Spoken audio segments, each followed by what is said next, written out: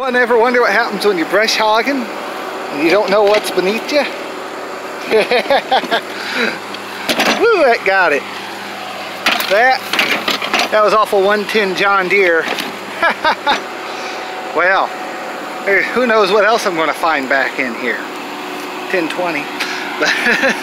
There's a 2030 Wallace behind there, believe it or not. There's actually a shed back behind all that.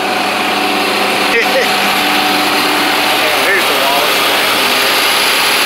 Oh boy, there's a lot to clear. A lot to clear. I do have something good to say about uh, Hyper Tough, about their pole saw. And it's done everything off of two batteries, every piece of wood that you see today. Everywhere that's cut off, it's done all of that off of two batteries. Same thing back in here, there's a little bit more it's done.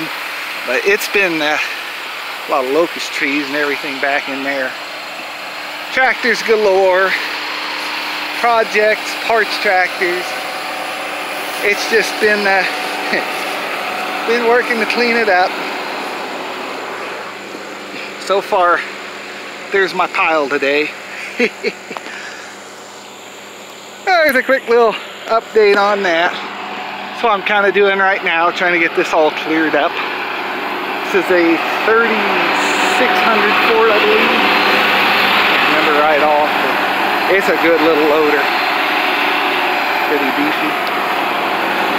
Alright. Well, I thought that was interesting. I thought that'd make a, a neat video. I have to uh, really clean up in here. Maybe I have to wait for winter to do much more. At least want it so I get to the shed. Alright, thanks for watching. See you next